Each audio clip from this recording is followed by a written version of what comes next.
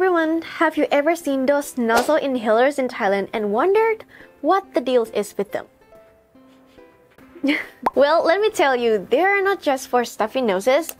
These inhalers, known as yadom in Thai, they are infused with different herbal and medicinal blends that can help with everything from headaches and sinus issues to stress and even nerves problems. But that's not all, they also come in different cute and colored designs, making them a popular accessories for many Thai people. So, Next time you're in Thailand, don't just blow your nose, inhale some yadom and feel the benefits. And if you can make it to Thailand, don't worry, these nasal inhalers can be found online too.